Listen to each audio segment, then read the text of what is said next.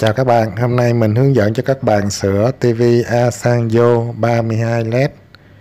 Khi mình cắm điện vào thì TV sẽ chuyển qua đèn xanh là báo hiệu TV đã chạy nha các bạn. Nhưng màn hình không sáng nha các bạn, màn hình tối. À, khi mình kết nối với thiết bị như đầu thu thì TV có tiếng. Và theo dự đoán của mình thì TV này bị đứt bóng LED nền và bây giờ, chúng ta bắt đầu mở ốc ra các bạn nha.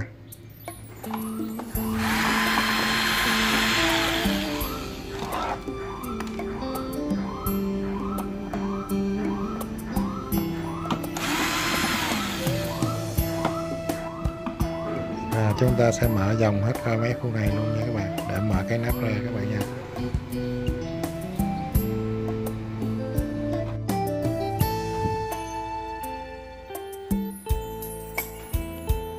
Và đây là nội thất của máy nha các bạn.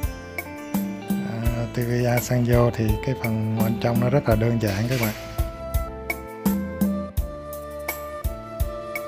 Máy chỉ sử dụng một bo nha các bạn. Và đây là phần nguồn nha các bạn. Đó đây là phần nguồn. Còn đây là phần xử lý hình ảnh âm thanh. Còn đây là bo cao áp để đốt đèn led nha các bạn đó, đây là dây ờ, nguồn lên đốt đèn led. Và đây là dây cáp lên màn hình. Khi các bạn mở thì các bạn phải cẩn thận với cái dây cáp của cái màn hình này nha các bạn. Và bây giờ mình đo nguồn ra cấp cho máy thử xem có đủ không nha các bạn. Rồi đây là 18V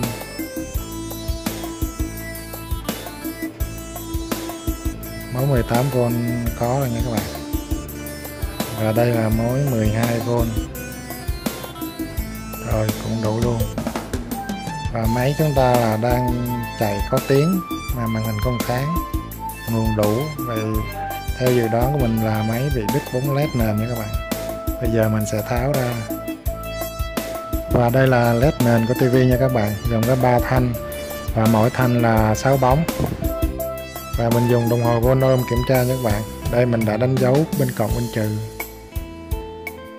và bây giờ mình sẽ lấy một thanh led của một cái tivi khác mình đo thử nha các bạn. Vì trong đồng hồ này nó có pin 3V rồi nha các bạn nên mình đo cái led 3V nó sẽ sáng. Đó con led này sẽ sáng rồi các bạn.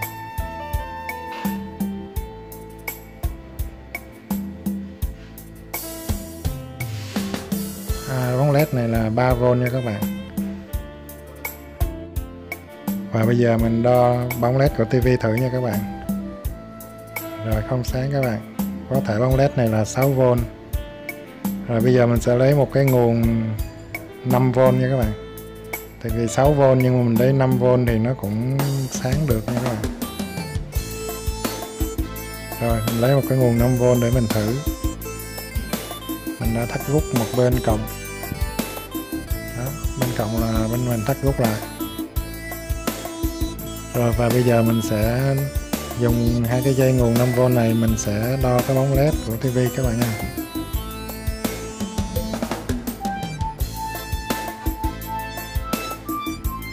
Đó, bên đây là bên trừ nha các bạn. Đó, có cái dấu chấm bên đây là bên trừ rồi bên đây là bên cộng. Ở trên cái mạch in nó có mấy cái lỗ nhỏ nhỏ để người ta test đó các bạn để thử đó.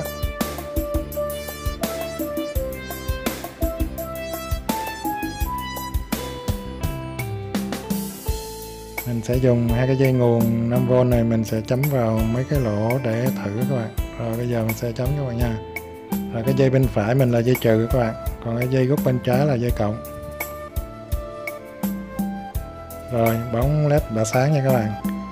Vậy là bóng led này là bóng led 6V nha các bạn.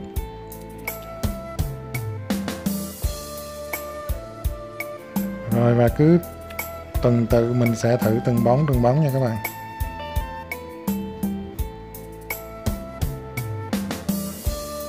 Bóng này cũng sáng luôn nha các bạn.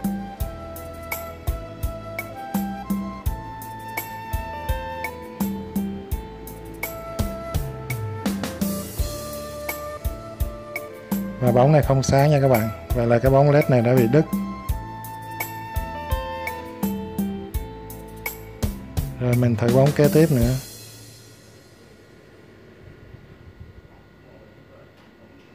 Rồi bóng này sáng luôn các bạn bóng này cũng sáng luôn.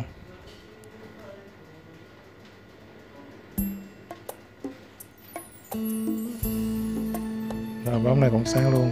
Và cũng tương tự như vậy, mình thử ờ, các thanh kia cũng y như vậy nha các bạn. Hai thanh còn lại mình cũng thử y như vậy luôn. Và mình đã thử qua mình thấy bóng này hư. Rồi, bóng bên thanh này là bóng này hư.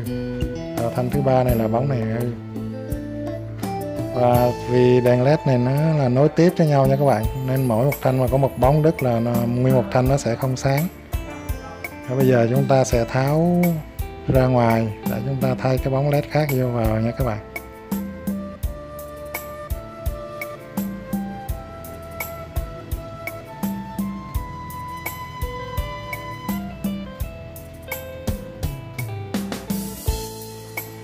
Nếu các bạn có những thanh led sẵn đúng giống như cái thanh led này, hoặc là những cái thanh led các bạn gỡ trong những cái tivi khác.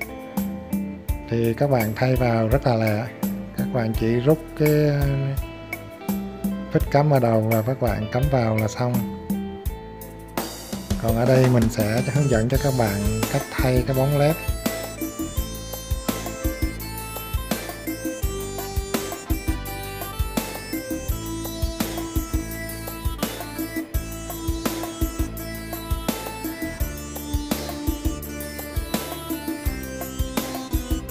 Các bạn thay nguyên thanh thì các bạn nhớ phải ừ, đúng là 6V nha các bạn.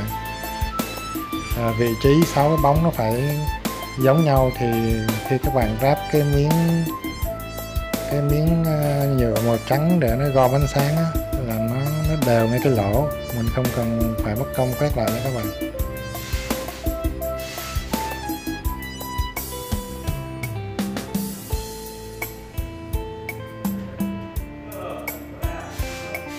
Cái băng keo này nó cũng tạm thời thôi nha các bạn. Tại vì chút mình ráp vào nó còn bắt ốc vào nữa nên nó giữ rất là cứng. Rồi và đây là ba thanh led mình đã gỡ ra ngoài để mình tiến hành thay bóng nha các bạn. Các bạn có thể gỡ cái bóng của cái thanh led khác các bạn gắn qua cũng được nhưng mà phải đúng vô nha các bạn. Ví dụ uh, 3V thì phải lấy bóng 3V còn này 6V thành ra mình không có. Mình đã mua đây rồi các bạn. Đây là bóng led 6V mình đã mua.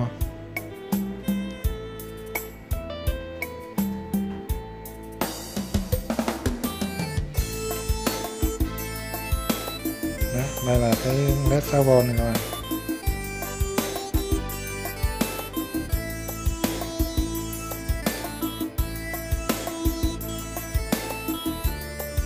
Bên mà có miếng đồng bự dài là bên đó là bên trừ nha các bạn. Còn có bên đầu nhỏ trên là cái bên cộng để mình kê nó trên cái hộp cho các bạn dễ thấy. Rồi giờ mình lấy thử đồng hồ volt 3V mình đo thử coi có sáng không nha các bạn. À, chắc chắn là không sáng rồi. Rồi bây giờ mình lấy cái dây nguồn 5V này nãy mình sẽ chấm vào đo thử các bạn.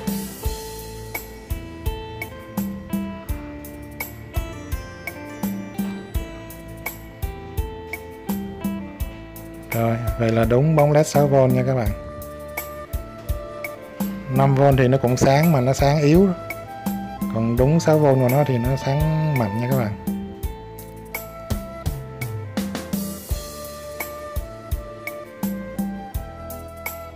Và bây giờ bắt đầu thay nha các bạn. Rồi đầu tiên các bạn sẽ dùng dao cạy cái cái nút tròn để mà nó gom ánh sáng ở trên cái bóng led đó các bạn. Nó dán keo. Các bạn sẽ cậy ra. Đó, các bạn cậy xong rồi các bạn sẽ cạo hai cái đầu led đó. Các bạn cạo cho nó sạch để cho nó sáng cái miếng đồng lên nha các bạn. Rồi các bạn chấm chì vô các bạn mới gỡ bóng led ra được. Đó mình đã cạo rồi này các bạn. Rồi mình đã chấm chì hai đầu. Rồi các bạn chấm chì vô nhanh hai bên cho nó nóng rồi nó mới gỡ bóng led ra được. Còn nếu mà cái bóng nó đã hư rồi thì mình cào bỏ luôn cũng được nha các bạn. À, sau khi gỡ bóng led cũ ra các bạn si xi chì thêm vào và các bạn à, vuốt cho nó sạch cho nó bằng cái chân led nha các bạn. Cái chân của cái thanh led đó, đó. các bạn các gạt chị đi cho nó sạch ngay cái chỗ đế đó để mình hàng vào cho nó dễ cho nó bằng nha các bạn.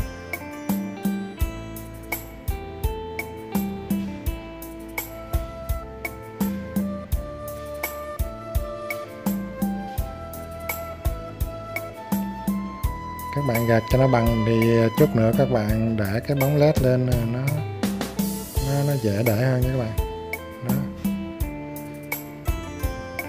Dùng xăng mình rửa cho nó sạch đi nha các bạn.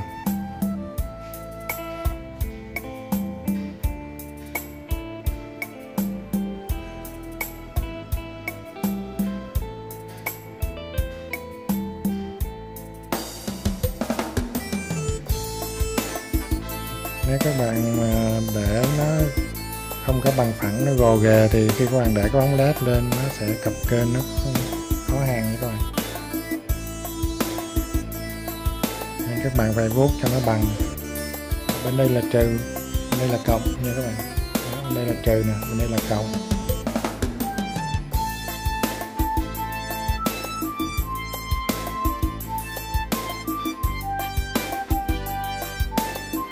Rồi để hai cái bóng led thì cái bóng led mới á, là nó chưa có si chì vào cái chân nha các bạn. Giờ các bạn phải ờ, si chì vào cái chân của cái bóng led đó các bạn mấy hàng được. Và cái mé bên dưới này á, là bên trừ, mé bên trên nó nhỏ đó các bạn là bên cộng rồi, bây giờ mình xi chì vào nha các bạn. Mình xi chì cho nó dính vào rồi mình mới hàng nó mới dễ các bạn.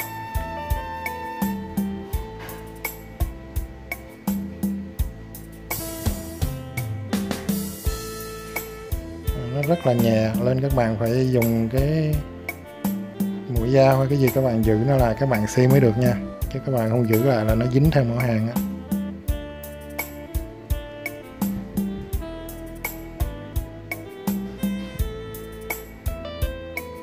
Có thể các bạn chấm thêm xíu nhựa thông các bạn xi vào cho nó dễ.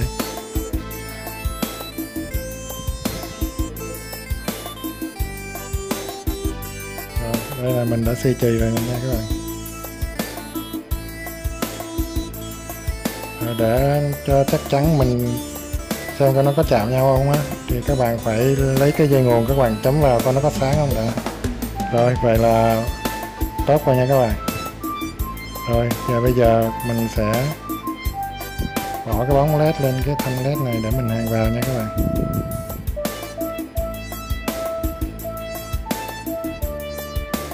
Các bạn phải bỏ đúng chiều cộng trừ nha các bạn nếu có ngược cộng trừ là nó không sáng nha.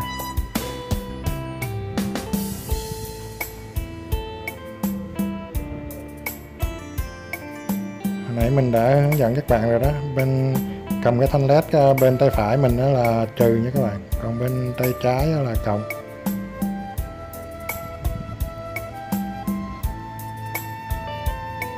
cái cái đế dưới led á mình nãy mình đã nói các bạn là cái bên bự á bên cái miếng đồng bự á là nó trừ nha các bạn.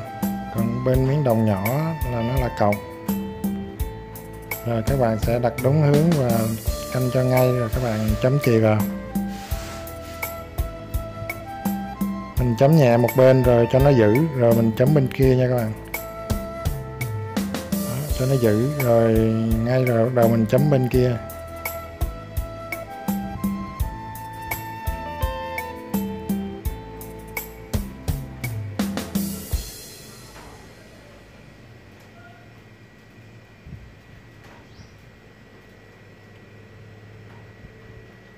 Khi mình chấm bên này rồi thì mình là chấm lại bên kia này các bạn. Mình chấm mối chì cho nó dính chặt và nó nhỏ gọn ở dưới thôi nha các bạn.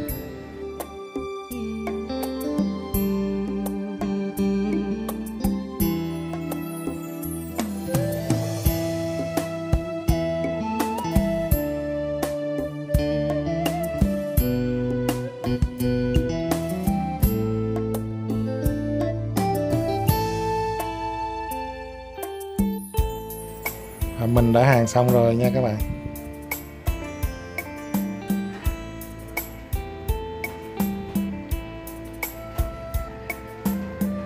Rồi, và bây giờ mình sẽ thử coi có sáng không nha các bạn. Rồi, vậy là tốt rồi các bạn. Vậy là mình đã thay cái bóng led cho thành công rồi đó. Rồi, bây giờ mình sẽ dán cái nắp này vào nha các bạn các bạn canh cho cái bóng led nó ngay giữa cái lỗ của cái nắp này nha các bạn. Các bạn à, dùng keo á, các bạn chấm vào. Dùng keo mình sẽ chấm vào ba cái ba cái à, ba cái dấu lỗ cũ của nó đó các bạn. Chấm ít thôi nha các bạn. Các bạn chấm nhiều quá, ok, nó tràn keo vô trong rồi nó đụng với cái bóng led nha không được nha các bạn. Đó, các bạn chấm một chút ở ngoài thôi. Khi nó đã khô cố định rồi có thể các bạn chấm thêm bên ngoài một chút cũng được.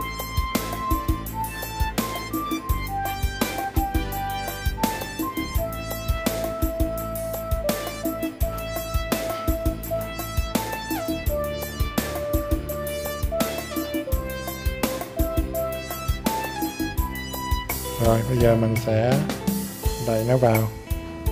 À, canh cho nó ngay nha các bạn. Canh cho cái lỗ ngay giữa cái nắp này nó ngay với cái cái bóng led đó. đó rồi các bạn canh cho ngay rồi các bạn để cho nó khô.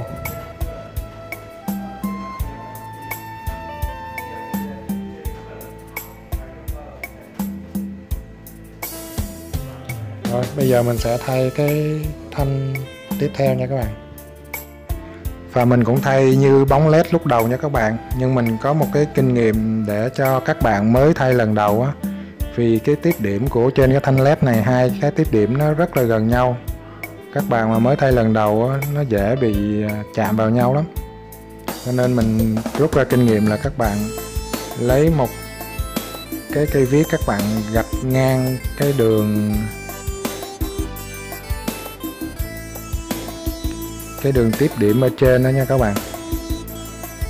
Đó, các bạn gạch ngang cái đường cái đường mạch ở trên đó. đó, vì hai cái nó rất là sát nhau, nên các bạn canh rất là khó. Nếu các bạn để nó chạm nhau là nó không sáng.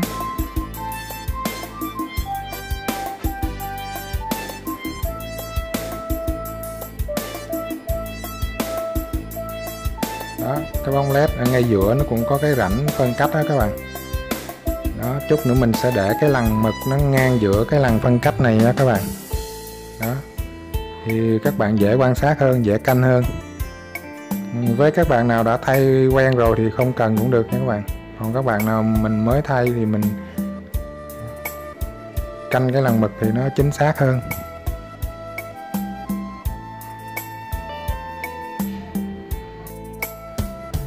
Và ở trên con led các bạn các bạn à, ngó kỹ thì các bạn cũng thấy nó có cái lằn phân cách mờ mờ các bạn. Các bạn ngó là thấy nha. Đó, để mình canh cho ngay cái lằn mực á.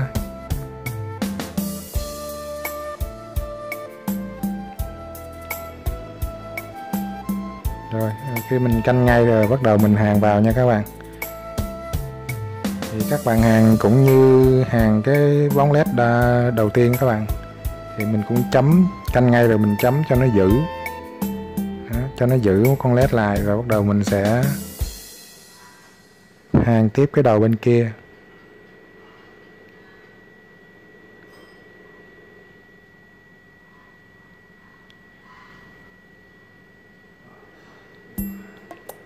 Khi nó giữ cứng cái đầu bên kia rồi mình hàng cái đầu bên này nha các bạn. Đó rồi mình, khi mình hàng cái đầu bên này nó dính cứng rồi bắt đầu mình lại xoay lại mình chỉnh cho cái đầu bên kia và các bạn cứ cân chỉnh cho nó, cho cái mối chì nó không to mà nó cũng vừa và nó dính chặt là được rồi các bạn ha. Đấy, mình đã hàng xong rồi các bạn. Rồi, bây giờ mình sẽ lấy hai cọng dây nguồn mình chấm thử coi nó có sáng không nha các bạn.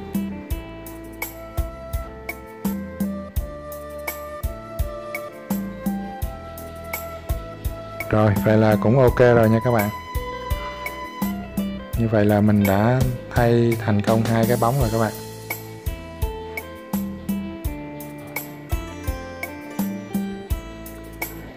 Khi thay xong rồi các bạn sẽ dán cái cái nút nhựa ở trên vào nha.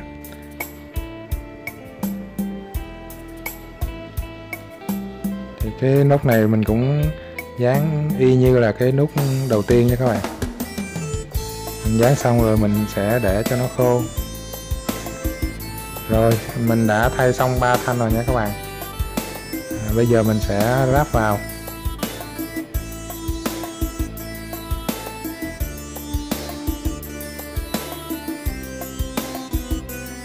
Thì ráp vào thì rất là đơn giản. Các bạn chỉ cố định ngay mấy cái lỗ của nó là dán băng keo lại. Tạm thời thôi nha các bạn. Chút mình còn bắt ốc nữa các bạn sẽ cắm mấy cái chất cắm vào.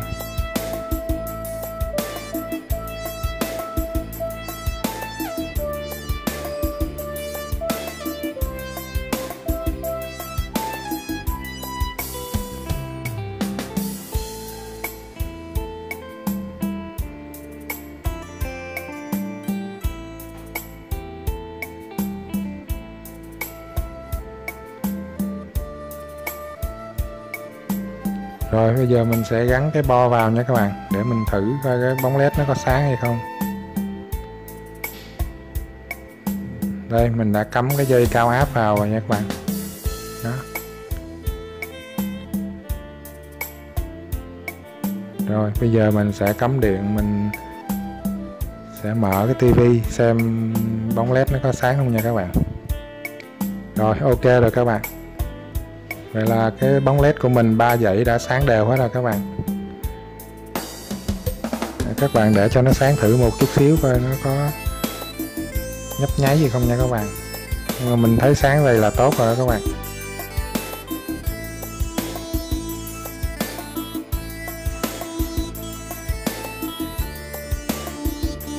Đây mình thấy bóng này bóng này và bóng này. Đó, ba bóng đó các bạn à, video của mình đến đây là kết thúc rồi. Chúc các bạn thành công nha.